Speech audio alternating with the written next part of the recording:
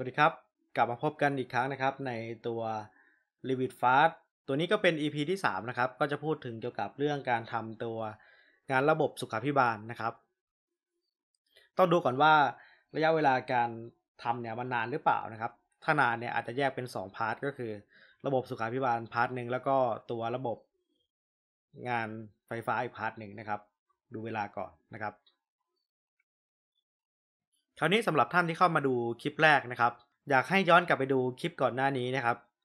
ไล่ตั้งแต่ตัวงานโครงสร้างงานถาปัด แล้วก็ค่อยมาดูคลิปนี้นะครับ เพราะว่าคลิปก่อนหน้านี้จะเป็นการปูพื้นฐานต่างๆ ให้ได้เรียนรู้คำสั่งพื้นฐานต่างๆ ก่อนนะครับ ก็สามารถดูรายละเอียดตาม description ข้างล่างได้เลยนะครับ ส่วนท่านที่ตามมาจากคลิปก่อนหน้านี้นะครับ ก็สามารถนำตัวโมเดลที่มีอยู่แล้วมาสร้างต่อได้นะครับ หรือว่าจะ โหลดโมเดลต้นฉบับจาก description ด้านล่างนี้ได้เช่นเดียวกันนะครับ คราวนี้เรามาดูต่อกันเลยนะครับ ก่อนอื่นครับ การจะสร้างตัว plumbing plan นะครับ เราต้องทำการ add ตัวมุมมองขึ้นมาก่อนนะครับ มุมมอง floor plan ขึ้นมาก่อน ตอนนี้ผมขอพับเก็บให้ดูเป็นระเบียบก่อนนะครับ ให้เรามาที่ตัว view เลือก pan view จากนั้นเลือกมาหมวด for pan แต่เดิมเนี่ยมันมีเฉพาะตัว for pan ใช่ไหมครับ เราจะทำการเพิ่มตัว pumping pan ขึ้นมาให้เรากดที่ edit type กด duplicate ตั้งชื่อใหม่นะครับเป็น pumping pan pumping pan ได้แล้วกดโอเค กดโอเค จากนั้นก็เลือกระดับนะครับ ระดับผมขอใช้แค่ 2 ระดับก็พอ คือระดับชั้น 1 กับชั้น ground level นะครับ ได้แล้วกดโอเค เราก็จะได้หน้า for pan pumping pan ขึ้นมานะครับ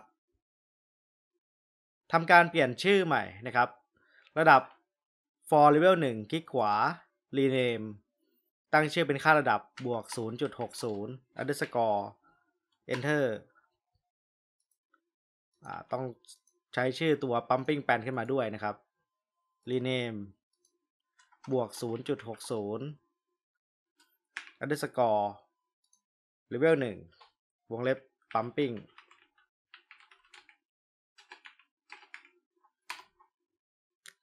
ตอบ no นะครับ ตรงนี้ก็เช่นเดียวกัน คลิกขวา rename บวก 0.00 underscore ground level วงเล็บ pumping โอเค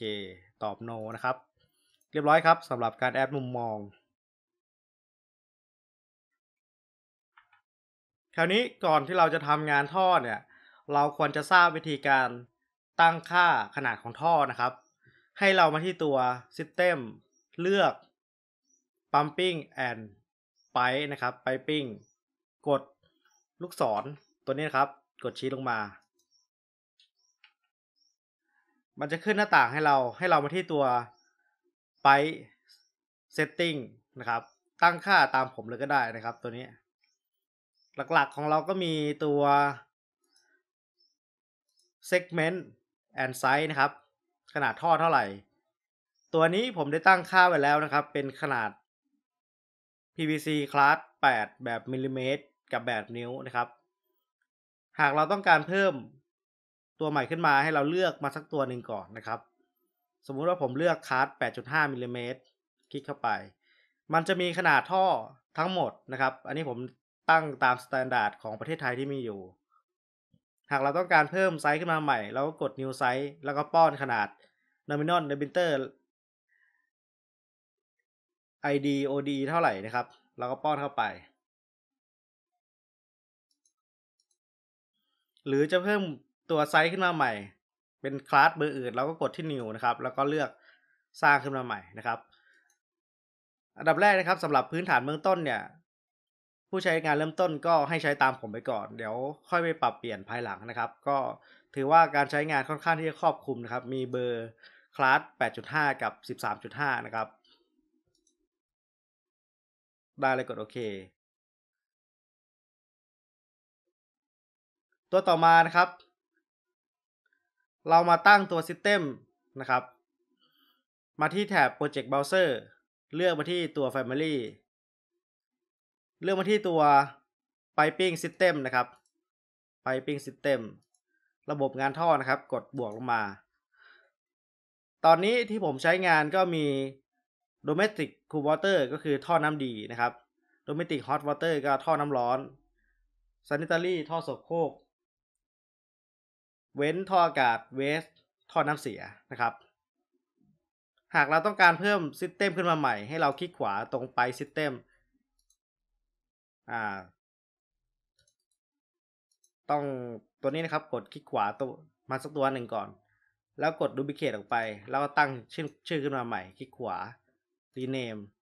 จะตั้งเป็นระบบอะไรก็ว่านไปนะครับ เสร็จแล้วให้เราดับเบิลคลิกเข้าไป แล้วก็มาเลือกตัว segment ของท่อนะครับ เราจะเอา material ตัวไหน เราก็คลิกบวกเข้าไป นี่นะครับทำการสร้าง material ขึ้นมาใหม่ก็ใส่สีใส่สันให้มันนะครับ ตัวนี้ abbreviation ก็คือตัวอักษรย่อเวลาเราแท็กนะครับ ให้มันปรากฏเป็นตัวย่อตัวอะไรนะครับ ส่วนตัวนี้ก็เป็นสัญลักษณ์ เวลาแสดงเป็นแบบซิมโบลนะครับ ว่าจะให้เป็นซิมโบลชนิดไหน อันนี้ก็กด cancel ลงไปนะครับ อันนี้ผมก็ไม่ไม่ขอเปลี่ยนแปลง ตอนนี้ผมก็กด delete ทิ้งไป ไม่ขอเปลี่ยนแปลงอะไร เพราะว่าเท่าที่มีอยู่ก็เพียงพอต่อการใช้งานแล้วครับ หากต้องการมาเปลี่ยนคุณสมบัติของมันเนี่ยให้เรา double click แล้วก็เลือกเปลี่ยนเอานะครับ ว่าจะเอารูปแบบกราฟิก override ยังไง รูปแบบเส้นนะครับ แล้วก็ตัว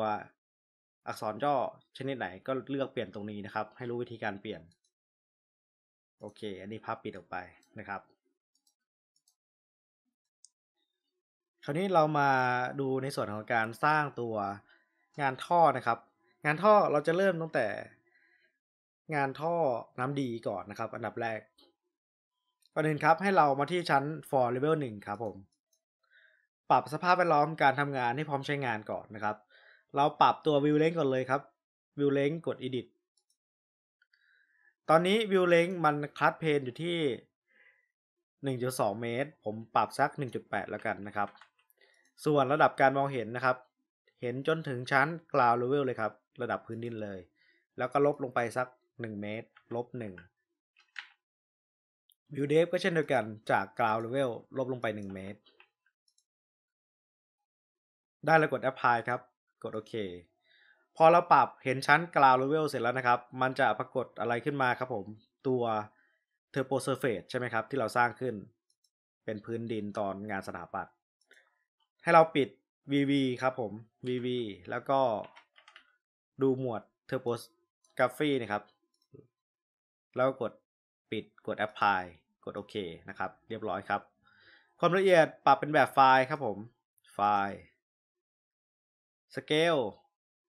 ปรับไม่เอ่ยนะครับ ถ้าปรับก็ปรับตัวนี้ก็ได้นะครับ ตอนนี้ไม่ขอปรับนะครับ แล้วก็ปรับความหนาของเส้นให้เป็นแบบเส้นบาง ใช้งานได้สะดวก แล้วก็ปรับตัว Discipline นะครับ เป็นตัว Pumping นะครับ จะได้เห็นงาน Pumping ชัดเจน งานอื่นก็จะถูกจางลงไป คราวนี้วิธีการสร้างของผมเนี่ย ผมจะสร้างเส้น outline ก่อนนะครับ เป็นเส้นจุดต่อท่อต่างๆ ผมปรับเป็นแบบตัว wireframe ก่อนนะครับ wireframe เสร็จแล้วใช้คำสั่ง annotate นะครับ เลือก detail line นะครับ dl เลือกรูปแบบของเส้นนะครับ เป็นเส้นปะ ผมใช้เป็นตัว dimension and reference นะครับ ตัวนี้ท่อน้ำดีออกจากจุดไหนบ้างเราก็ลากมานะครับ ลากมา จากจุดนี้ ปรับสเกลลงมาก็ได้ครับผม สักหนึ่งต่อห้าสิบอ่าจะได้เห็นชัดเจน จุดนี้แล้วก็ DL นะครับ ออกจากจุดนี้ ให้มันเป็นจุดอ้างอิงไว้นะครับ เวลาเราจะเขียนในเวอร์ชันต่างๆเนี่ยจะได้ ใช้งานได้ง่ายนะครับ โอเค ตอนนี้เราได้เส้นอ้างอิงเสร็จแล้ว คราวนี้จะทำการสร้างตัวท่อนะครับ วิธีการสร้างตัวท่อเรามาที่ตัว System เลือกไป เสร็จแล้วนะครับ เราเลือกชนิดของท่อนะครับ เราจะเอาท่อคัสเบอร์อะไรนะครับ ผมเลือกเป็นท่อน้ำดีใช้เป็นคัส13.5 นะครับ รับแรงดัน คราวนี้ System Type เลือกเป็น Cool Water นะครับ ก็คือท่อน้ำดี แล้วก็มันจะมีตัว reference level นะครับ เราจะอ้างอิงจากชั้นระดับเลเวลไหน ผมเลือกเป็นเลเวลหนึ่งมีให้อ้างอิงตั้งแต่ตัวผิวบนของท่อกึ่งกลางท่อแล้วก็ผิวล่างท่อ ผมใช้กึ่งกลางท่อเป็นเกณฑ์นะครับ สูงที่สูงจากระดับพื้นชั้นหนึ่งไปหนึ่งเมตรนะครับสองตัวนี้สัมพันธ์กันนะครับ middle กับ middle ตัวนี้สัมพันธ์กันหนึ่งเมตร ขนาดท่อ diameter ผมใช้เป็นตัวสิบแปดมิลลิเมตรนะครับ เสร็จแล้วก็คลิกสร้างนะครับ คลิกหนึ่งคลิกสองนะครับ สร้างตามแนว จากนั้นพอเราสร้างเสร็จหนึ่งตัวเสร็จแล้วเนี่ยครับ เราก็มาดูรูป 3D view default 3D view นะครับ เห็นไหมครับ จะปรากฏตัวท่อขึ้นมา ตัวนี้นะครับปรับ discipline เนี่ยเป็น pumping จะได้เห็นงานท่อชัดเจนนะครับ เสร็จแล้วครับ ตัวนี้ผมจะใส่เป็นข้อต่อเกี่ยวใน เรามาที่หมวด Family นะครับ หมวด Family แล้วก็เลือกมาที่ตัว Pipe Fitting ครับ Pipe Fitting เลือกมาที่ตัว Class 13 นะครับ 13.5 เบอร์ 13 นะครับ เป็น Socket ตอนนี้มันไม่มี type ให้เราเลือกนะครับ ให้เราทำการคลิกขวาเลือก New Type จากนั้นตั้งชื่อครับเป็นขนาด 18มิลลิเมตรแล้วก็ double click เข้าไป ตั้งชื่อ nominal diameter นะครับ 18มิลลิเมตรนะครับได้แล้วกดโอเค วิธีการใช้งานนะครับ เราคลิกแล้วก็ลากมาไว้ยังปลายท่อ นี่ครับได้ขึ้นมาแล้ว จากนั้นก็มาดูที่รูปแปนนะครับ for แปน level 1ทำการ move ครับ move ตัว socket เนี่ย เข้าไปอยังตำแหน่งที่ถูกต้อง ใช้คำสั่ง move ผม move ไว้ในตัวผนัง นี่นะครับ เป็นแนวของผนัง เสร็จแล้วก็ใช้คำสั่งตัว section นะครับ ตัดผ่า เพื่อดูรูปตัด section คลิก1 คลิก 2 เลื่อนมานะครับดับเบิลคลิกที่ตัว section ระดับความละเอียดเป็นแบบไฟล์ ความสูงเท่าไหร่ ยังไม่รู้นะครับ ใช้คำสั่ง annotate นะครับ เลือก dl แล้วก็เลือกเส้น hidden line นะครับ ตัดผ่า อันนี้คือระดับตามจริงของมัน จากนั้นเราใช้คำสั่ง modify เลือก align นะครับ คลิกที่ตัวเส้นหน้าอิง แล้วคลิกที่ตัวท่อนะครับ โอเค ได้ตำแหน่งถูกต้องเสร็จแล้ว จากนั้นก็วาดเป็นแนวท่อนะครับ คลิกท่อ คลิกขวาดอไปนะครับ วาดเป็นแนวท่อลงมา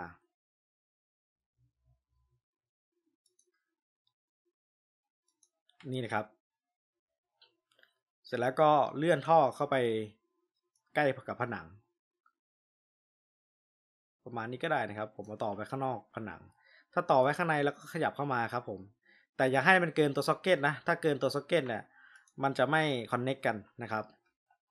ต้องระวังตัวนี้ด้วย ตัวนี้ตามจริงอาจจะเป็นซ็อกเก็ตแบบ 90 องศานะครับ แต่เผอิญว่าใน template ตัวนี้ไม่มีนะครับ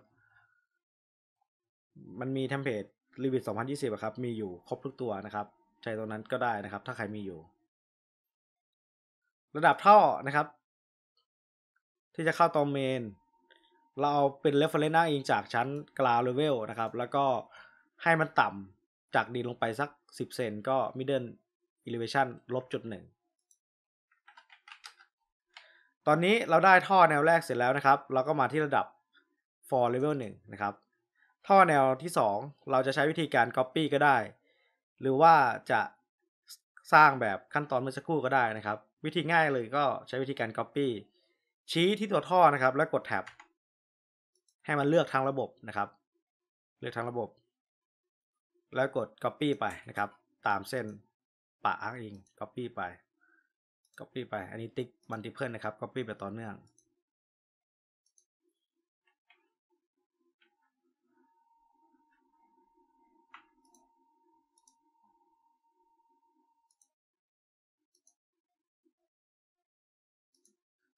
ดูรูป 3D view นะครับ ตอนนี้เราได้ท่อ เข้าอ่างล้างหน้าเสร็จแล้ว เข้าชักโครกแล้วเข้า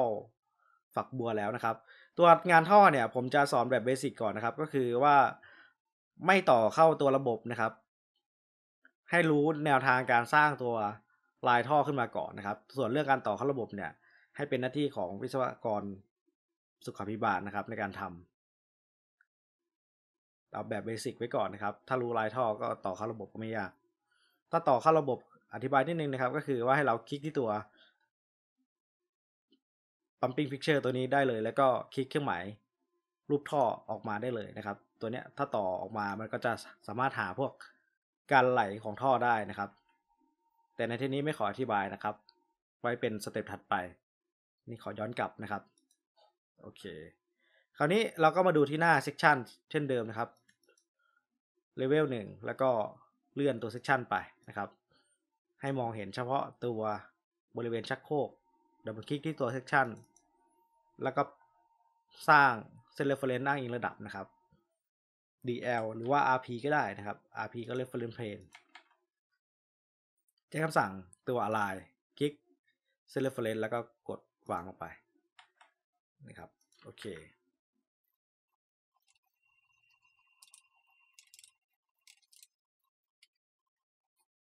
ตอนนี้จุดคอนเน c กต่างๆ เราได้เสร็จแล้วนะครับ คราวนี้เราจะต่อออกสู่ภายนอกนะครับ เข้าประปาสาธารณะ เราก็มาที่ระดับชั้นตัวเลเวลหนึ่งก็ได้นะครับ หรือว่าจะกาวเลเวลก็ได้เช่นเดียวกัน ใช้คำสั่งตัว System เลือกไป ตัวท่อ main หลักผมใช้เป็นขนาด 20มิลลิเมตรนะครับ เลือกเป็น Cold Water นะครับ แล้วก็ใช้ท่อเป็นแบบ คาร์ด13.5 เช่นเดียวกัน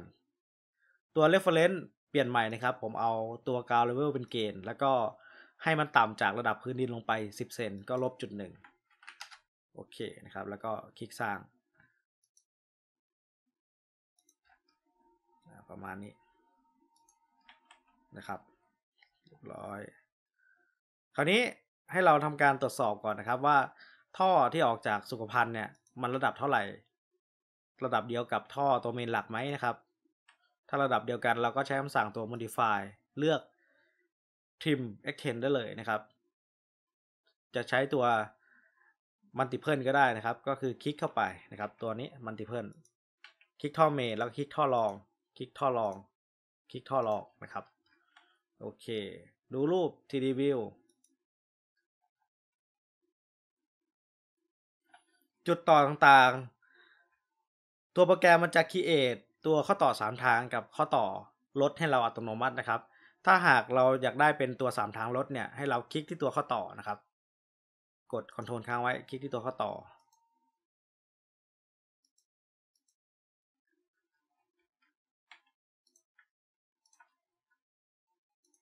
แล้วก็ปรับตรงนี้ครับ ปรับตรงท้ายเลือกใช้เป็นข้อต่อ 3 ทางลดนะครับ คลิกเข้าไป ตัวข้อต่อลดก็จะหายไปนะครับ ส่วนตัวปิดป้ายนะครับ ถ้าเราจะเอาแล้วก็ยื่นออกมานะครับ หรือถ้าไม่เอาก็คลิก delete แล้วก็คลิกตัวข้อต่อ 3 ทางนะครับ แล้วก็กดเครื่องหมายลบ มันจะกลายเป็นข้อต่อ 90 องศานะครับ หรือถ้าจะบวกมาแล้วก็คลิกแล้วก็กดเครื่องหมายบวก จะกลายเป็นข้อต่อ 3 ทาง แล้วก็คลิกที่ข้อต่อ คลิกขวาเลือกดอกไป ก็ลากท่อออกมาได้นะครับ ตัวนี้ผมจะใช้เป็นแคปปิดปลายนะครับ คลิกตัวท่อ คลิกขวา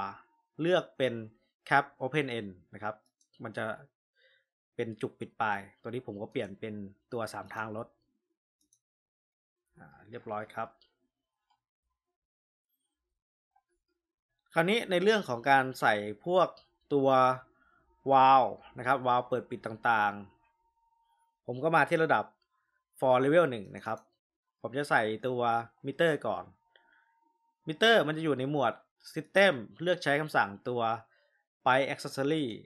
จากนั้นก็เลือกขนาดมิเตอร์นะครับจะเอาขนาดเท่าไหร่ ตอนนี้เอามิเตอร์ขนาด 20 มิลนะครับ เราก็เลือก 20 มิล หรือถ้าไม่มีเนี่ย เราก็กด edit type แล้วกด duplicate เพื่อสร้าง type ขึ้นมาใหม่ 20มิลลิเมตร แล้วก็เลือก nominal diameter นะครับกำหนดค่าตัวนี้นะครับ เป็น 20มิลลิเมตรเท่ากัน ได้แล้วกดโอเค คลิกวางลงไปก่อนนะครับ ตามแนวท่อจะสังเกตเห็นเส้น snap นะครับ คลิกวางลงไป จากนั้นก็ลากตัว section มานะครับ มาตัดดูบริเวณช่วงนี้ซิ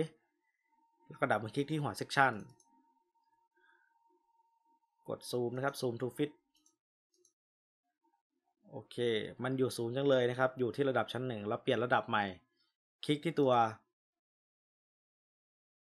มิเตอร์นะครับ แล้วก็เอาจากชั้นเลเวลกราวเลเวลเป็นเกณฑ์นะครับ แล้วก็สูงขึ้นไปสัก 20 เซนจุดสองดูรูป 3D view ก่อนครับ สังเกตว่าตอนนี้มิเตอร์มันหันผิดทางอยู่นะครับ เราจะกลับทางอีกด้านหนึ่งให้เรากด space bar ครับ จะเป็นการหมุน ด้านไหนก็ได้นะครับ โอเค เสร็จแล้วก็มาที่ตัว section เช่นเดิมนะครับ เลือก section แล้วก็ section หนึ่ง คลิกที่ตัวมิเตอร์นะครับ คลิกตัวนี้ได้เลยนะครับ create ไปได้เลย แล้วก็ลากมา 20มิลลิเมตรนะครับ ปรับเปลี่ยนไซส์ตรงนี้ ลากมาไว้ประมาณนี้ ส่วนตัวนี้ก็คลิกมิเตอร์ แล้วก็คลิกลากมาไว้ประมาณนี้ แล้วก็ตัวนี้ก็ modify แล้วก็เลือก trim โอเค ถ้าอยากต้องการกำหนดระยะนะครับ เราใช้ใช้คำสั่งตัว dimension คลิกกึ่งกลางตัวมิเตอร์คลิกกึ่งกลางท่อนะครับคลิกกึ่งกลางมิเตอร์คลิกกึ่งกลางท่อ เอาสัก 30 เซนแล้วกัน คลิกตัวท่อนะครับ แล้วก็ป้อนค่าจุด3ตัวนี้ คลิกตัวท่อป้อนค่าจุด3ตัวนี้นะครับโอเค ได้ระยะที่สวยงามนะครับ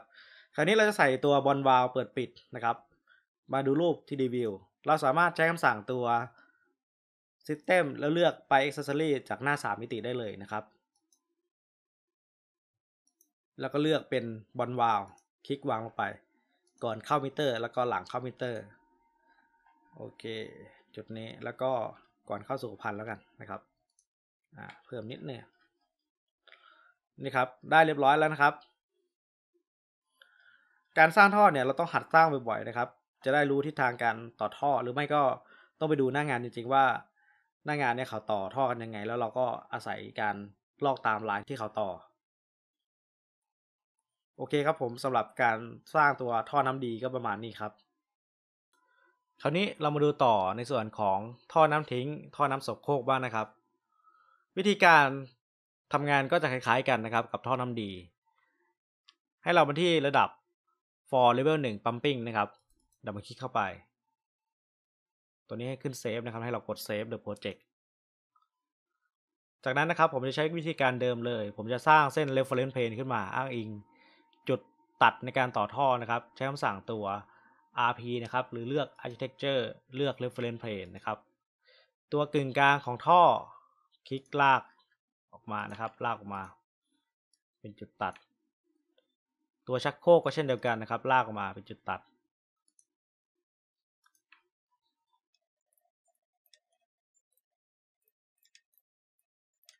ตัว for d a n เช่นเดียวกันนะครับ for d a n ก็ลากเป็นจุดตัด เดี๋ยวพอเสร็จแล้วเนี่ยให้เราลบไอตัว reference นี้ทิ้งไปนะครับ เวลาสร้างทุกอย่างเสร็จแล้ว โอเคได้แล้วนะครับ เสร็จแล้วนะครับ เราก็ย้ายตัวเซ c ชันมาตัดผ่าน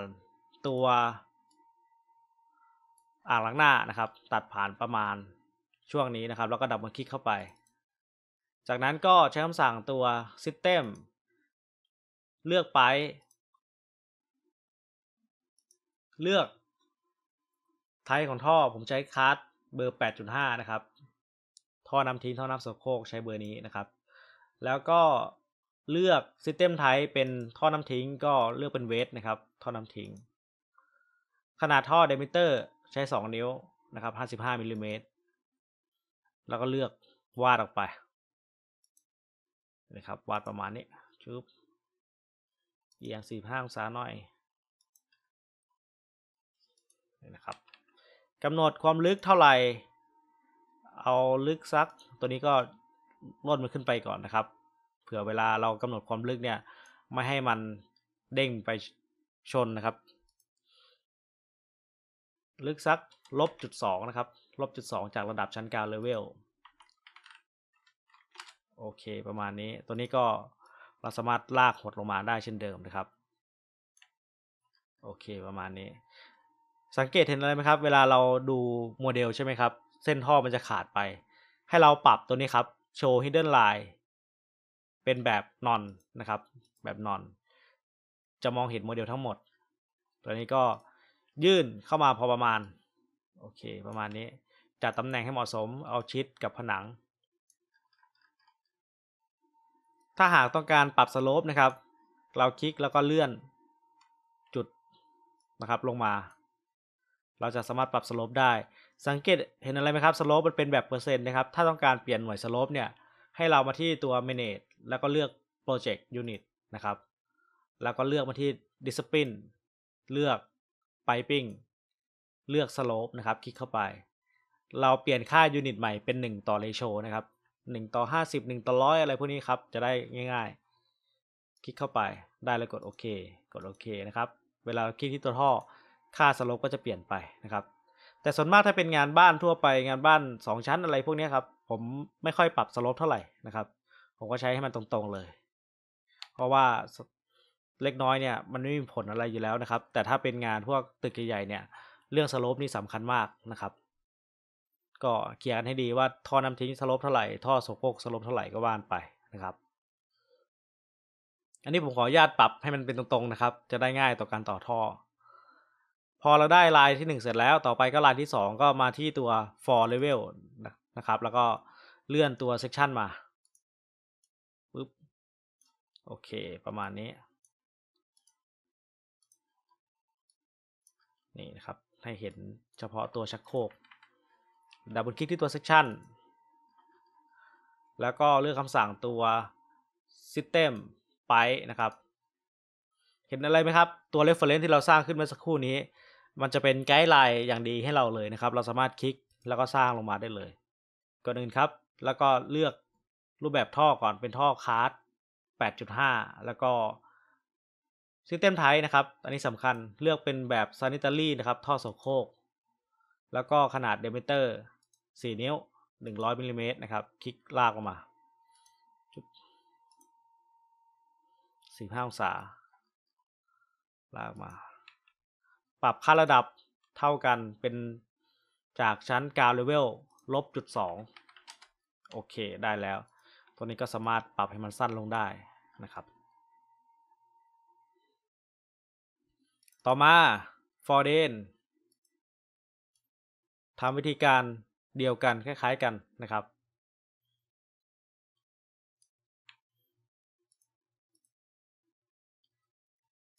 พอเดนเนี่ยเราใช้เป็นคลาส 8.5 นะครับ แล้วก็เลือก System Type เป็น Waste แล้วก็เลือก Diameter ขนาด 2 นิ้ว เช่นเดียวกัน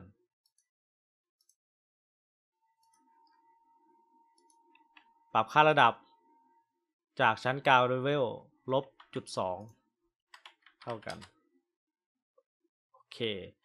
คราวนี้ก็ดูรูป 3D View นะครับ 3D View นี่ครับ เราได้แนวท่อขึ้นมาแล้ว คราวนี้เราจะต่อเข้าท่อเมนหลักนะครับ เข้าท่อหลักเข้าท่อรอง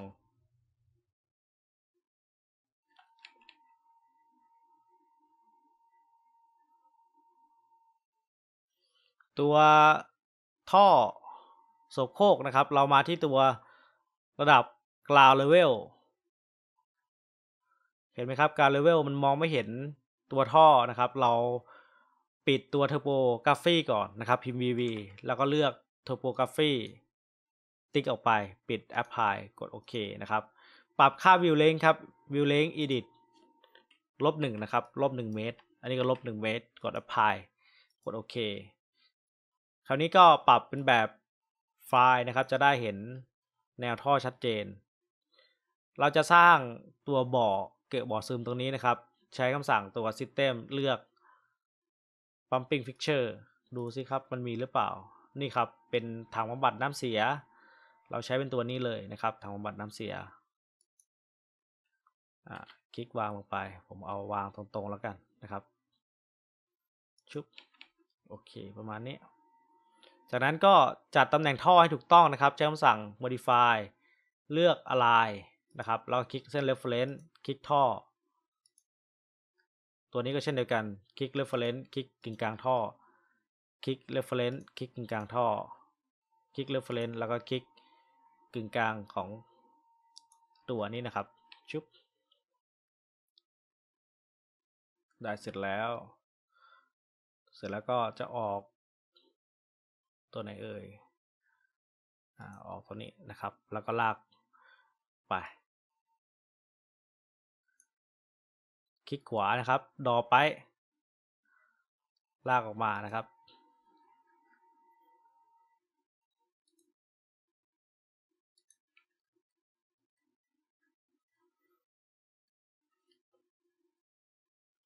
ตัวนี้ก็ลากออกไป คลิกขวา ดอไป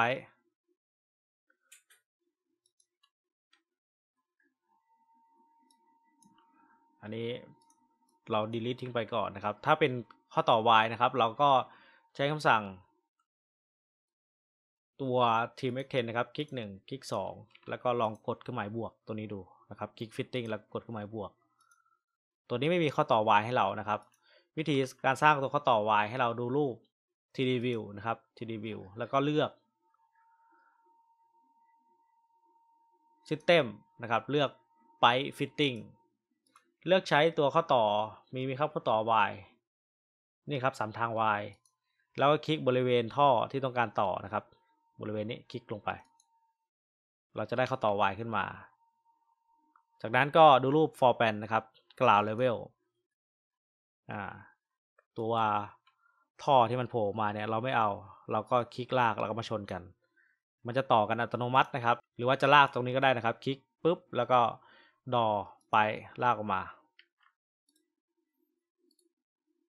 ให้เรา snap กัน ถ้า snap มันจะขึ้น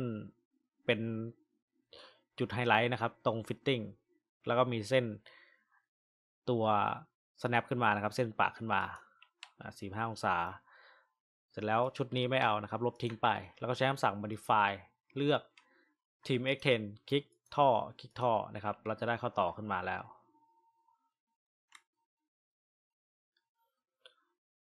ช่วง ตั้งแต่ชักโครกลงท่อบำบัดนะครับ เราจะใช้เป็นเฟกไปเรามาที่รูป 3D view เราเลือกคลิกนะครับที่ตัวท่อคลิกขวาเลือก Door Fix ไปนะครับ แล้วก็ ลากมาชนนะครับ ชนจะปรากฏเป็นรูปวงกลมนะครับ คลิกเข้าไป เราจะได้ท่อเฟกไปขึ้นมา เวลามีการปรับระดับตัวท่อนะครับ ตัวไอตัวถังบำบัดนะครับ ถังบำบัดให้ต่ำจากพื้นดินสัก 10 เซนก็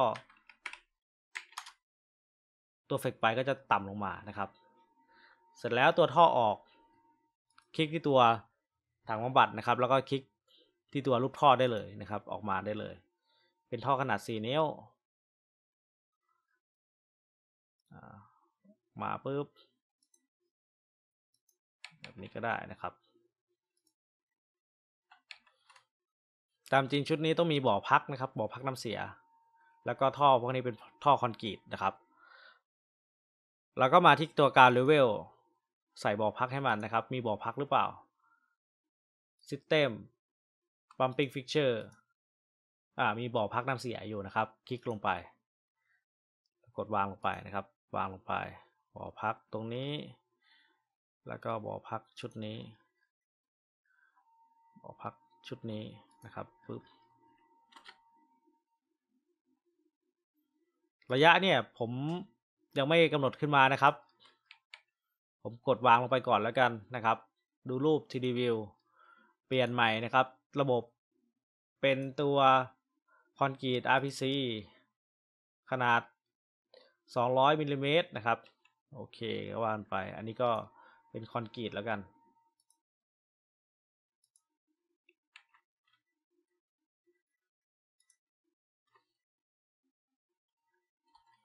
นี่ครับ ได้ตัวท่อน้ำเสียขึ้นมาแล้ว โอเคนนี้ก็เป็นต้องเป็นคอนกรีตนะครับ ตัดท่อใช้คำสั่งตัวสปินตัดนะครับ ตัดระบบท่อ แล้วก็ลบตัวไส้กลางทิ้งไป หรือว่าจะคลิกตัวบ่อพักก็ได้นะครับ แล้วคลิกบวกมาโอ้อันนี้มันเป็นขนาดใหญ่มากนะครับ เลือกเป็น 200มิลลิเมตรไปอีกตัวหนึ่งแบบนี้ก็ได้นะครับได้เช่นเดียวกัน พวกนี้ก็ถ้าจะลบก็คลิกชี้กดแท็บ delete แล้วก็ใส่ท่อเหมือนกัน คลิกเครื่องหมายบวก 200มิลลิเมตรนะครับ ท่อขนาด 8 นิ้ว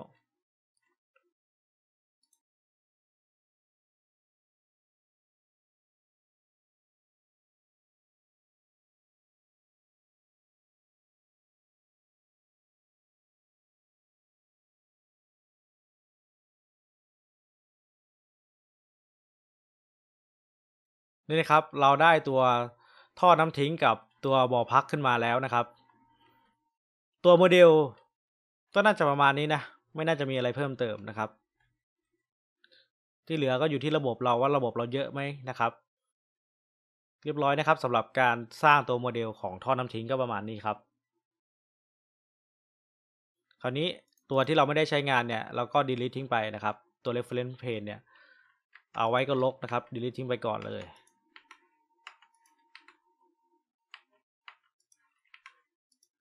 โอเค พยายามเคลียร์ทุกอย่างให้เรียบร้อยนะครับ ได้แล้วนะครับ เรียบร้อยเสร็จแล้ว ดูรูป 3D view อีกครั้งหนึ่งเรียบร้อยนะครับ เพียงเท่านี้เราก็ได้ตัวท่อน้ำทิ้งแล้วครับ ต่อมานะครับเรามาดูในส่วนของการถอดปริมาณงานนะครับ การถอดปริมาณงานก็จะคล้ายกับทุกงานที่เราทำมานะครับ ก็คือว่าให้เราคลิกที่วัตถุก่อนนะครับ สมมุติว่าผมต้องการถอดตัวท่อ จำชื่อแคตตากรีของมันไว้นะครับไปจากนั้นให้เราคลิกขวาตรง Schedule ครับ เลือก New Schedule Quality ก็เลือกแคตตากรีมาหมวดไป ได้แล้วกดโอเค จากนั้นให้เราเลือกมาที่ตัว นี่ครับ System Application ก็คือระบบของมันตัวย่อนะครับ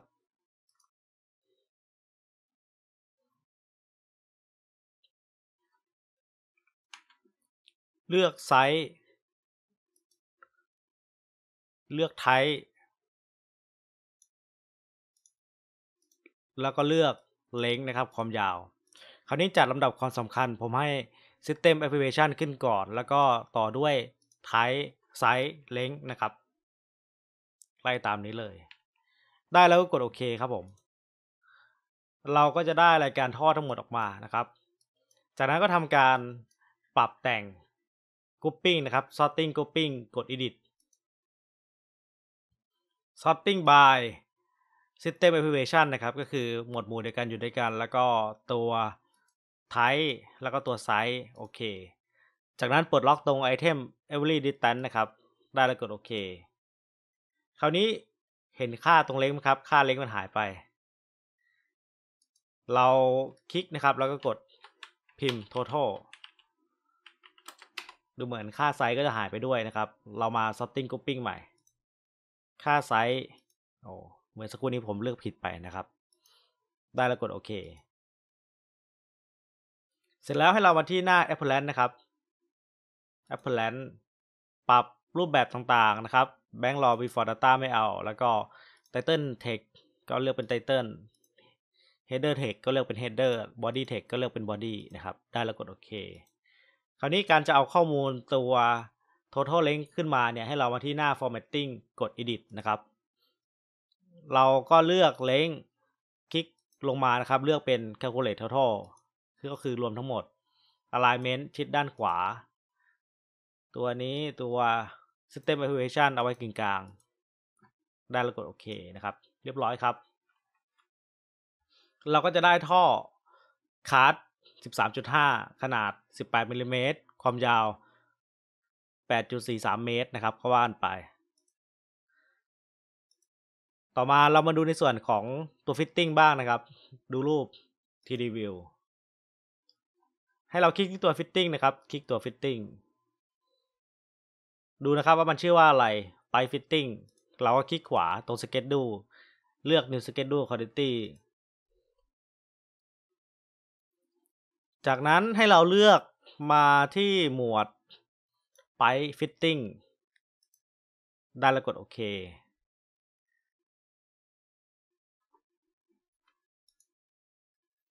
แล้วก็เลือกข้อมูลเข้ามาครับผมเป็น System Application มาก่อน แล้วก็ตัว Family and Type แล้วก็ตัว Share Description นะครับ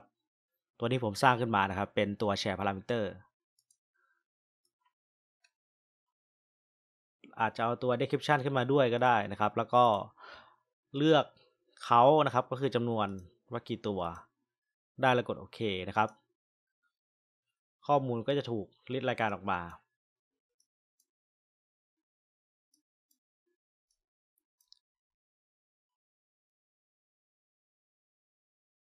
จากนั้นนะครับให้เรากดที่ตัว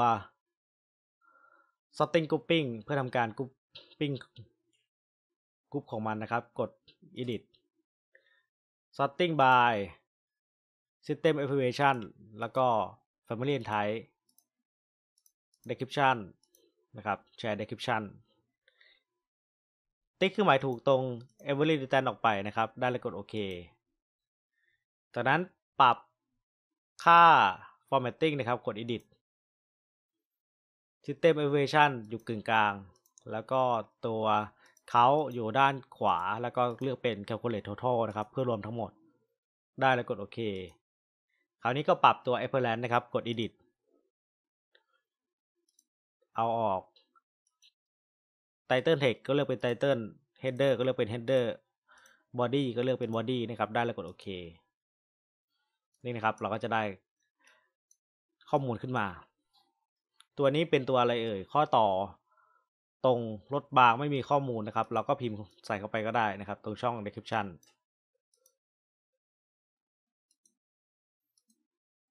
ข้อต่อตรงรถบาง มันลดตรงไหนเอ่ยนะครับ ตัวนี้น่าจะแปลกๆนะครับ เราเราไปดูกัน มันอยู่ตรงไหน โชว์ อ๋อ ตัวนี้ไม่น่าใช่นะครับ รีลิททิ้งไปเลยนะครับ ไม่เอา โอเค โอเค มันรู้สึกว่ามันแปลกๆนะครับ ก็เลยลบทิ้งไป ตัวนี้ก็ต่อเข้ามา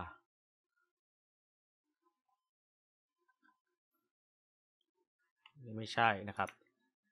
กลับมาดูที่หน้าตัวไป fitting schedule นะครับ ตัวนี้อยู่ตรงไหนเอ่ย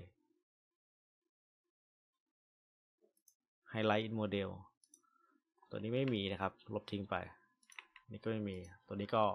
พุ่งเข้ามาเลยนะครับ โอเค ดูหน้าไป fitting schedule นะครับ โอเค มีครบทุกตัวแล้วนะครับ ช่อง description เนี่ย เราสามารถพิมพ์ใส่เข้าไปเองนะครับ หรือว่าจะใช้ข้อมูลตรงช่อง share description ก็ได้ อันนี้ผมแชร์เป็นพารามิเตอร์เข้ามานะครับ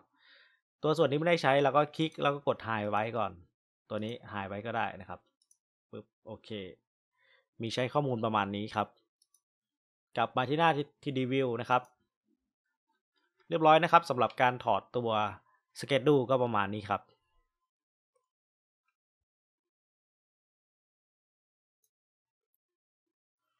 คราวนี้นะครับเรามาดูต่อในส่วนของการทำแบบนะครับ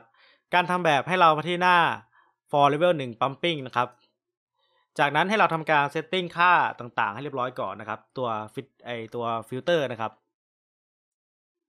เรามาที่ VV นะครับ Visibility Graphic Override จากนั้นให้เรามาที่หมวด Filter ทำการสร้างฟิลเตอร์ขึ้นมาใหม่ครับ กด Edit New เลือก New ครับ ตั้งชื่อเป็น Pumping นะครับ Pumping underscore CW นะครับ Cool Water ได้แล้วกดโอเค จากนั้นเราก็เลือกข้อมูลนะครับ ก็มีตัวไป accessory ไป fitting นะครับ แล้วก็ไป isolation ไป paste holder ไปนะครับ แล้วก็เลือกเป็น pumping fixture นะครับ ก็มีอยู่แค่นี้นะครับ ตัวที่เราไม่เลือกก็คือตัว piping system เนี่ยไม่เอานะครับ เอาเฉพาะแค่นี้พอ พอได้เสร็จแล้วเราก็เปลี่ยนนะครับ ตัวนี้เลือกเป็น selected all นะครับ all selected นะครับแล้วก็เลือกช่องนี้เป็น System Application นะครับ แล้วก็เลือกเป็นตัวอีควานะครับ แล้วก็เลือกเป็น CW ก็คือระบบท่อน้ำเย็นนะครับ ได้แล้วกดโอเคนะครับ คราวนี้เพิ่มอีก 2 ตัวก็คือตัวที่เป็นท่อโสโครกกับท่อน้ำทิ้งนะครับ กด edit new ทำวิธีการเช่นเดียวกันนะครับ คลิก แล้วก็กด duplicate นะครับ คลิกขวา rename เปลี่ยนชื่อเป็น s นะครับโอเค ตัว activation ก็เปลี่ยนใหม่นะครับ เป็น s จากนั้นอีกตัวนึงก็กด new คลิกขวา rename ตัวนี้ก็เป็น w นะครับ แล้วก็เปลี่ยน activation เป็น w ได้แล้วกดโอเคนะครับ จากนั้นก็แอด 3 ตัวนี้เข้ามาในช่อง Graphic Override นะครับ คลิก add แล้วก็เลือกทั้ง 3 ตัวเข้ามา ได้แล้วกดโอเคนะครับ โอเค โอเคนะครับ จากนั้นเราลองทดสอบเปิดปิดดูครับ มาที่ตัว VV นะครับ Visibility Graphic Override เราดูช่องฟิลเตอร์ ถ้าสมมุติว่าเราปิดตัว plumbing CW เนี่ย เรากด apply ดูครับ ท่อน้ำดีก็ต้องหายไปใช่ไหมครับ เราปิด S ท่อโซโคก็ต้องหายไปนะครับ โอเค เราปิด W นะครับ ท่อน้ำทิ้งก็ต้องหายหายไปนะครับ คราวนี้ตัว S มันมีตัวเฟกไปอยู่นะครับ เราทำการ add ตัวเฟกไปเข้ามาใหม่ วิธีการก็คือมาที่ edit new แล้วก็เลือกมาที่ pumping S เลือกใช้ตัวเฟกขึ้นมาด้วยครับ auto fake เฟกเฟก นี่ครับเฟกไปนะครับ ได้แล้วกดโอเค กดเรียบร้อยครับ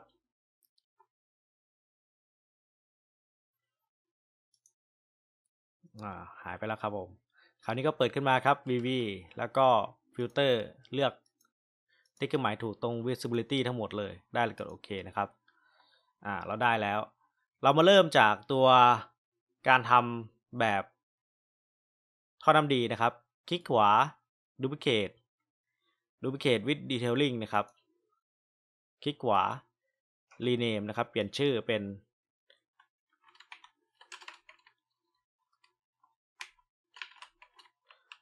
CW Pumping Pan ชื่อนี้อยู่ที่เราในการตั้งชื่อนะครับ ว่าจะตั้งชื่อว่าอะไร CW Plumbing Plan นะครับ อ่า ผมมาตามนี้แล้วกัน จากนั้น เหมือนเดิมครับ เราดูขนาดสเกลของเพื่อนก่อนนะครับ ว่าสเกลเท่าไหร่หน้าชีตนะครับ แล้วก็ดูตัวอื่นสเกลส่วนมากเขาใช้ที่สเกล1ต่อ 75 นะครับ แล้วก็มาที่หน้า CW Plumbing Plan ปรับสเกลให้ได้ก่อนนะครับ เป็น 1 ต่อ 75 คลิกตัวสเกลกด Custom เลือก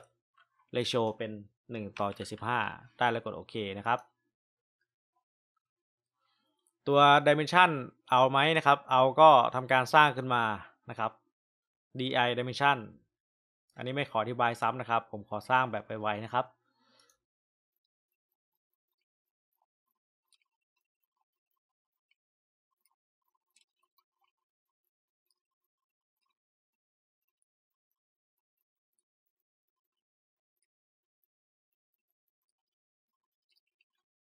โอเคนะครับ dimension เรียบร้อยเสร็จแล้ว คราวนี้เราปิดส่วนที่ไม่จำเป็นทิ้งไปนะครับ ตัวนี้ปรับเป็นแบบ hidden line นะครับ hidden line แล้วก็พิมพ์ vv visibility graphic override ส่วนที่เป็นตัว s กับตัว w เนี่ยเราปิดทิ้งไปนะครับ มาที่หน้าฟิลเตอร์ตัวนี้ก็ปิดทิ้งไป ปิดทิ้งไป กด apply นะครับ กดโอเค ได้แล้วครับ จากนั้นก็ทำการแท็กครับ อ่าไอตัวนี้ติดอะไรเอ่ยนะครับ pumping fixture ตัวนี้เราซ่อนทิ้งไปนะครับ คลิกแล้วกดปุ่ม EH นะครับ EH เป็นการซ่อนแบบถาวรนะครับ ถ้าจะเอากลับมาก็ให้ทำการเปิดไฟตัวนี้นะครับ ตัวรูปด้านล่าง แล้วก็คลิกที่วัตถุแล้วกดปุ่ม EU นะครับ หรือว่ากดปุ่ม unhide ก็ได้ แล้วก็ปิดนะครับ reveal hidden element ปิดออกไป ผมขอซ่อนไว้เหมือนเดิมนะครับ คลิก EH โอ้เรียบร้อยครับผม จากนั้นก็ จะทำการแท็กวัดระยะต่างๆนะครับ เราก็ใช้คำสั่งตัว dimension นะครับ dimension แล้วก็เลือกอ่าเป็นแบบตัวไหนเอ่ย center to rim นะครับ center to rim ก็จาก center เส้น กิดลายมาถึงกึ่งกลาง อันนี้ก็สลับได้นะครับสลับฝั่งโอเคนี่นะครับ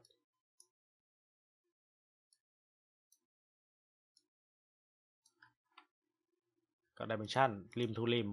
ก็วางไปนะครับ เรื่อยๆ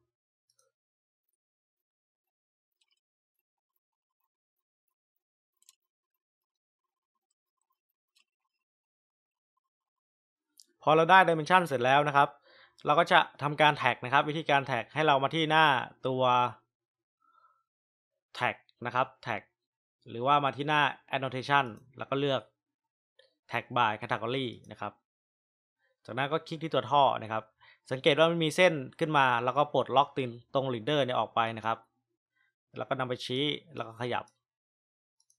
ชี้ขยับออกไปนะครับ ชี้ขยับออกไป โอเคนะครับ ขยับออกไปประมาณนี้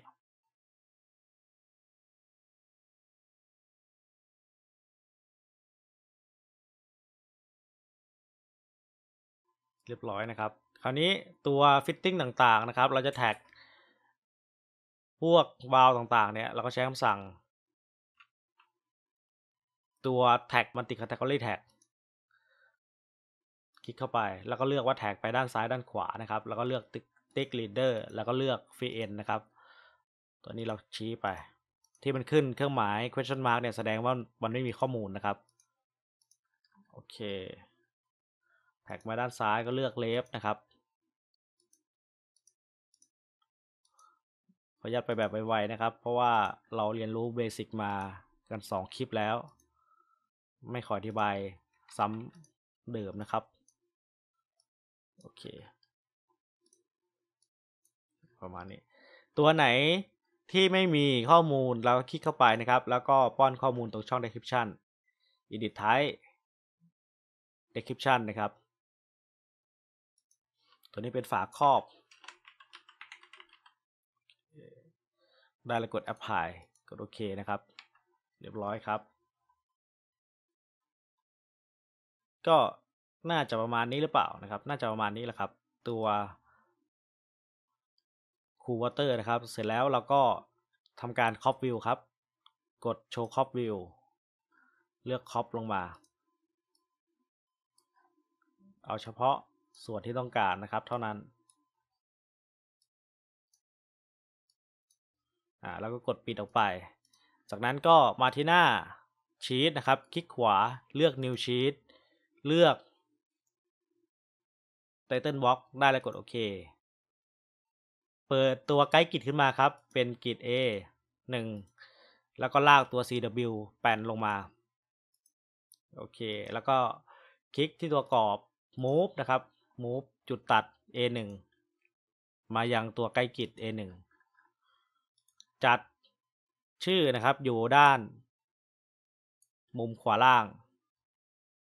ประมาณนี้ เสร็จแล้วก็ลากตัว schedule ลงมานะครับ schedule pipe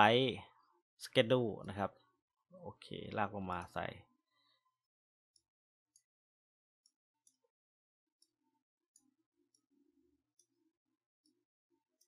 ประมาณนี้แล้วกัน ตัว fitting เอาด้วยไหม fitting ก็ลากลงมานะครับ fitting schedule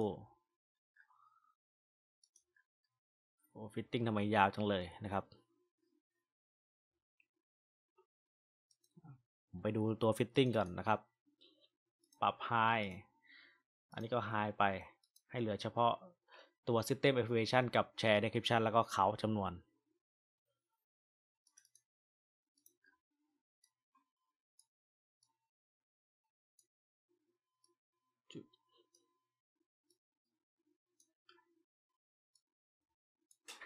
นี่นะครับ ประมาณนี้ เสร็จแล้วก็ดับเบิลคลิกเข้าไป ตัวนี้มันเลยเข้าไปในกรอบ เราหดมันลงมา ปลดล็อกครับปลดล็อกกุญแจแล้วก็เลื่อนหดมา ด้านนี้ก็เช่นเดียวกันปลดล็อกกุญแจเลื่อนหดมา โอเค ประมาณนี้นะครับดับเบิลคลิกที่กรอบนอก เปลี่ยนชื่อครับ คลิกขวา rename ตั้งชื่อเป็นหมวด sn 0 1 101 นะครับ ก็คือแบบแปนเป็น C W แปนอ่า pumping แปนได้แล้วกดโอเคนะครับ อ่า เรียบร้อยครับสำหรับตัว pumping แปนนะครับ CW คราวนี้เรามาดูต่อในส่วนของการทำตัวแปนท่อน้ำทิ้งท่อน้ำเสียนะครับ เช่นเดิมครับ ให้เรามาที่หน้า for level 1 pumping จากนั้นคลิกขวาครับ duplicate view duplicate with detailing นะครับ แล้วก็คลิกขวา rename เปลี่ยนชื่อเป็น s comma w นะครับ pumping pan เหมือนเดิมนะครับ ชื่อเนี้ยอยู่ที่เราตั้งนะครับ ว่าเราจะตั้งชื่อว่าอะไรก็ตามสะดวกเลยนะครับ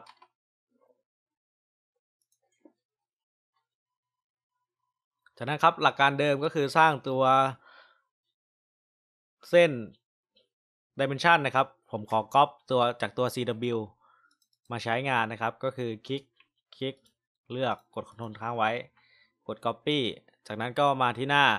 ตัว plumbing plan แล้วก็คลิก paste current view โอเค ได้ขึ้นมาแล้ว คราวนี้ก็ปิดการแสดงผลของตัว CW ออกไปนะครับ พิมพ์ VV Visibility Graphic Override เลือกมาที่ตัวฟิลเตอร์ CW ไม่ใช้งานปิดออกไป ได้แล้วกดโอเคนะครับ ตัวกิดลายนะครับกิดลาย สังเกตว่าถ้าเราถ้ามันขึ้นสัญลักษณ์ 3 มิติเนี่ย ถ้าเรายืดออกไปเนี่ย มันจะยืดออกไปทั้งหมดนะครับ เดี๋ยวผมลองยืดให้ดูปึ๊บเราไปดูหน้าอื่น หน้าอื่นก็จะยืดตามไปด้วยนะครับ เพราะฉะนั้นวิธีการจะยืดเนี่ยให้เราปรับกลับมาก่อนนะครับ กลับมาที่หน้า SW นะครับ เราต้องปรับให้เป็น 2 มิตินะครับแล้วค่อยยืดออกไป มันถึงจะไม่เด้งไปหน้าอื่นนะครับ เดี๋ยวลองดูนะครับ ไม่เด้งไปหน้าอื่น หรือมันมีวิธีที่ง่ายกว่านั้นนะครับ อันนี้ผมขอปรับกลับมา ก็คือว่าให้เราเปิดตัวคอปวิวขึ้นมาก่อนนะครับ ปิดคอปวิวขึ้นมาก่อน แล้วก็คอปลงมาก่อนคอปให้เลยตัวกิดไลายนะครับคอปให้เลยตัวกิดไลายคอปมาอ่าครอบเข้ามาเลยนะครับ จากนั้นค่อยคลิกตัวกิดไลายมันจะขึ้นเป็น 2 มิตินะครับ แล้วเราค่อยยืดมันออกไป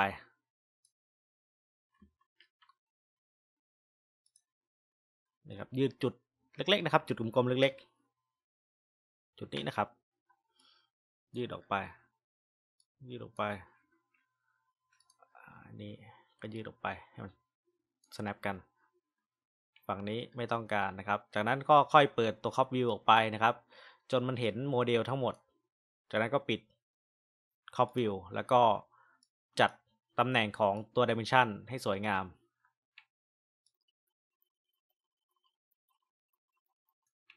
โอเคนะครับ เสร็จแล้วเราก็ใช้ตัว DL นะครับ Detail Line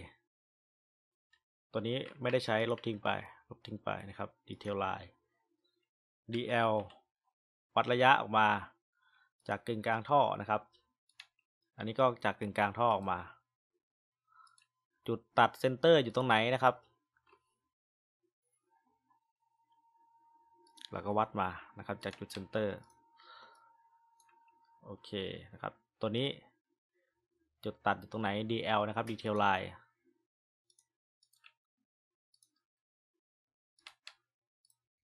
หรือเราจะใช้คำสั่งตัว dimension วัดจากวัตถุเลยก็ได้นะครับ ก็อยู่ที่ความสะดวกของเรา จากนั้นก็ใช้คำสั่งตัว dimension วัดระยะ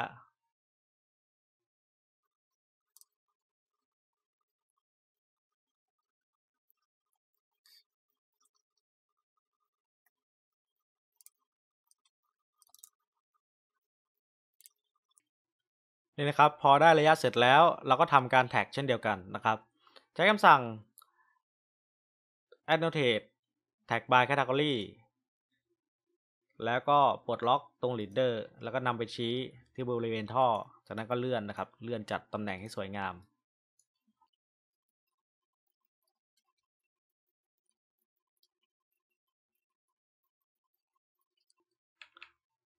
พอแท็กได้แล้ว เราก็จะทำการชี้นะครับ ชี้บอกว่าวัตถุชนิดนี้คืออะไร ก็ใช้คำสั่ง annotate แล้วก็เลือก multi category tag นะครับ แล้วก็เลือกเป็นด้านอยู่ที่เรานะครับ ผมเลือกด้านไลท์ชี้บ่อบำบัด tick leader บ่อบำบัดน้ำเสีย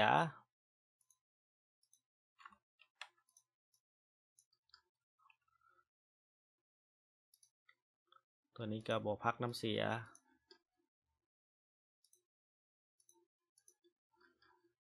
ก็วางไปนะครับ ส่วนตัวนี้ก็ใช้คำสั่ง text พิมพ์นะครับ text แล้วก็เลือกเป็น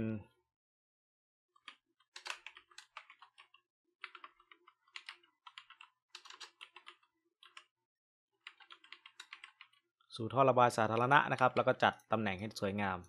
ประมาณนี้ครับ มีตัวไหนอีกจะเพิ่มเติมนะครับเราก็พิมพ์ใส่เข้าไปเลย สังเกตนะครับตัว flex pipe เนี่ยเห็นไหมครับ มันเป็นสัญลักษณ์แบบนี้นะครับ เราสามารถเปลี่ยนกราฟิกตัว flex pipe ได้นะครับ โดยการคลิกเข้าไปตัว flex pipe แล้วก็เปลี่ยนตัว flex pipe pattern เนี่ย เราจะเป็นแบบไหนแล้วก็เลือกเอานะครับ เลือกดู แบบไหนดีเฟกสองเลือกเปลี่ยนเอานะครับผมเอาเฟกธรรมดาแล้วกัน ชี้บอกสักหน่อยหนึ่ง ตัวนี้เป็นเฟกไป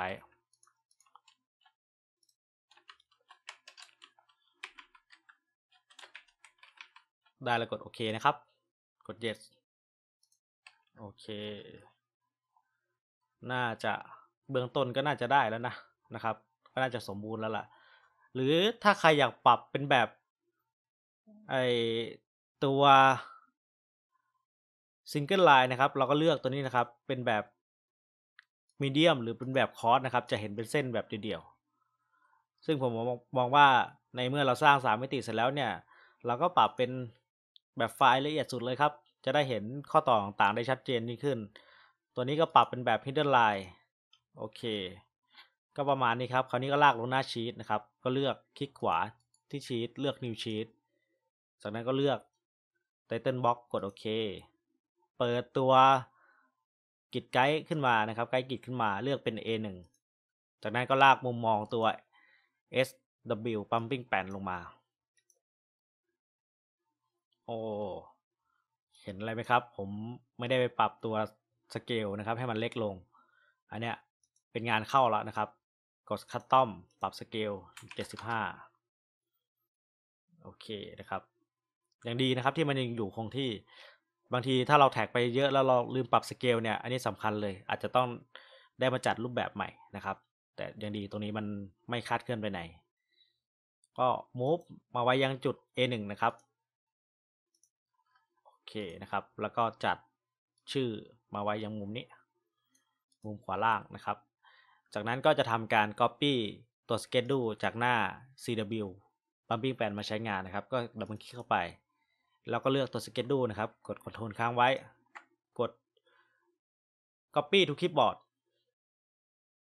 จากนั้นก็มาหน้า sn 102นะครับ แล้วก็กด paste กดเลือก current view าวางออกมาเรียบร้อยครับผม เปลี่ยนชื่อใหม่ คลิกขวา rename เปลี่ยนชื่อเป็น s w pumping pan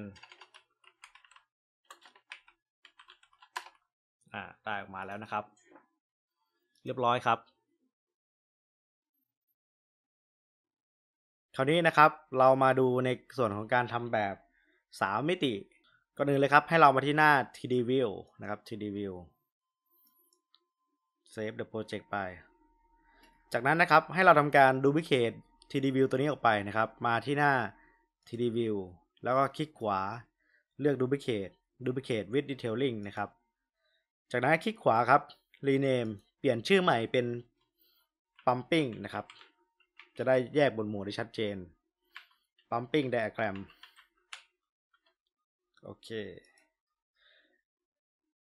คราวนี้เราจะโชว์แบบ 3 มิติแบบเท่ๆ ออกมานะครับ ตัวอื่นเนี่ยผมจะปิดทายออกไปนะครับ ผมจะให้เหลือเฉพาะงานที่เป็นงานท่ออย่างเดียวนะครับ ให้เราพิมพ์ vv vv เสร็จแล้วก็ เลือกอทั้งหมดเลยนะครับ ปิดออกไปทั้งหมดก่อน คราวนี้ก็เปิดเฉพาะตัวงานท่อออกมานะครับ ตัวตั้งแต่ตัว pipe เลยครับลงมาถึงตัว plumbing fixture เสร็จแล้วก็ติ๊กเครื่องหมายถูกกด apply ครับ กดโอเคนะครับ มันก็จะเหลือเฉพาะงานท่อนะครับ ส่วนตัวที่เป็น fixture อื่น อย่างเช่นตัวเราวแขวนผ้าเนี่ย เราก็ทำการซ่อนออกไปนะครับ คลิกแล้วกดปุ่ม ES นะครับ ES ฮ่องกงนะครับ แล้วก็ตัวนี้ทำไมไม่ขึ้นไปสุด ก็เลื่อนขึ้นไปนะครับไม่เอาสุดสิ เอาแค่ประมาณหนึ่ง เพราะว่าไม่อยากต่อเข้าระบบนะครับ ใช้คำสั่งตัว modify เลือก ตัวนี้ก็ได้นะครับ team extend element แล้วก็เลือกหน้า surface ด้านล่างแล้วกัน แล้วก็เลือกตัวท่อนะครับประมาณนี้ พอได้แล้วเราก็จัดมุมมองให้มัน ดูแล้วมันสบายตานะครับ ดูแล้วอ่านง่าย ผมเอามุมมองไว้ ประมาณนี้แล้วกันนะครับ มองจากด้านหลังเข้าไป จากนั้นครับก็ใช้คำสั่งตัว show crop view show crop region นะครับ ตัวนี้ show crop region มันจะขึ้นขอบ region ขึ้นมานะครับ แล้วก็ให้เรา crop view เหลือเฉพาะส่วนที่จำเป็นเท่านั้น ได้ประมาณนี้นะครับ เสร็จแล้วก็คลิกอีกครั้งหนึ่งนะครับ hide crop region แล้วก็เปิดตัวนี้ครับ crop view จากนั้นครับทำการเซฟไฟล์ เซฟตัวนี้นะครับ save lock view คลิกรูปบ้านแล้วก็เลือก save orientation and lock view โอเคเรียบร้อยแล้ว มันจะไม่สามารถขยับได้นะครับ หากต้องการขยับก็คลิกแล้วกด unlock view นะครับ ในส่วนนี้มันเหมือนจะขาดหายไปก็คือตัวท่อเฟกให้เราพิมพ์ vv อีกครั้งหนึ่งนะครับ แล้วก็เปิดตัวเฟกขึ้นมาเฟกไปนี่ครับเฟกไปกด apply กดโอเคนะครับ ได้ท่อเฟกขึ้นมาแล้ว จากนั้นนะครับให้เรามาที่หน้าชีตนะครับ คลิกขวาเลือก new sheet เลือก title box ได้แล้วกดโอเคคราวนี้ก็ลากลงมาใส่ก่อนนะครับ ตัว pumping diagram เนี่ยลากลงมาใส่ ถ้ามันเล็กใหญ่เกินไปเนี่ยเราก็คลิกแล้วก็ปรับตรงสเกลนะครับ เอาสัก 1 ต่อ 50 ดูสิ พอดีไหมเอ่ย ก็น่าจะพอดีนะครับ 1 ต่อ 50 ก็ประมาณนี้ครับผม เสร็จแล้วชื่อก็มาไว้ฝั่งนี้ โอเค อันนี้ก็ดับบันคลิกเข้าไปในวิวนะครับ หรือว่าจะมาแก้ไขตัวนี่ก็ได้นะครับ ตัว pumping diagram ผมเอาสัก 1 ต่อ 75 แล้วกัน 50 ดูแล้วอึดอัดกินไป เลือกเป็นคัตตอมนะครับ1ต่อ75 จะได้มีพื้นที่แท็กด้านข้างด้วย 75 ก็เล็กเกินไป เอาสัก ตัวนี้เป็น 3 มิตินะครับ ไม่ต้องไปซีเรียสเรื่องสเกลเท่าไหร่ผมไม่มีใครนั่งวัดในหน้า 3 มิติครับสเกล เอาสัก 60 แล้วกันโอเค ประมาณนี้นะครับ อยู่ที่เรานะครับ อยู่ที่ขนาดบ้านของเราว่าเราจะเอาเท่าไหร่ อยากให้สเกลลงพอดีเป๊ะก็ขึ้นอยู่กับเรา จากนั้นก็มาที่หน้า bumping diagram นะครับ หากเราต้องการปรับเป็นแบบเส้นเดี่ยวนะครับ ให้เราคลิกเลือกตรงนี้นะครับ detail level ก็เลือกใช้เป็นแบบคอร์สหรือแบบมีเดียมก็ได้นะครับ จะกลายเป็นเส้นเดี่ยว แต่ผมขอใช้เป็นแบบไฟล์แล้วกันนะครับ จะได้เห็นเป็นแบบเซ c ชัน3มิติ แล้วก็ใช้คำสั่ง tag ครับ annotate เลือก tag by category เลือก leader ออกไปนะครับ เอาเป็นธรรมดาแล้วก็เลื่อนเอาดีกว่า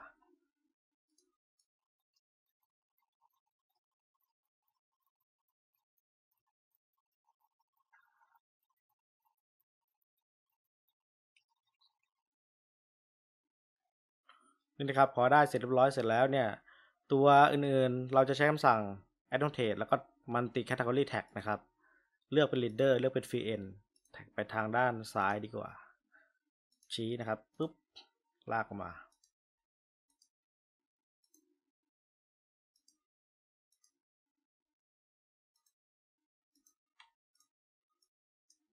จัดให้สวยงามประมาณนี้นะครับ เสร็จแล้วก็มาดูที่หน้า 3D view จากนั้นก็จะ copy พวกตารางเข้ามานะครับ แบบมันโล่งเกินไป เราก็มาที่หน้า SW แล้วก็คลิกที่ตารางนะครับ คลิกกด Ctrl ค้างไว้ แล้วกด copy to clipboard นะครับ จากนั้นก็มาที่หน้า SN 103นะครับ แล้วก็เลือก modify เลือก Paste เลือก Current View เรียบร้อยนะครับ จากนั้นก็ทำการ rename ครับ เปลี่ยนชื่อใหม่ คลิกขวา rename ตั้งชื่อเป็น pumping diagram อ่า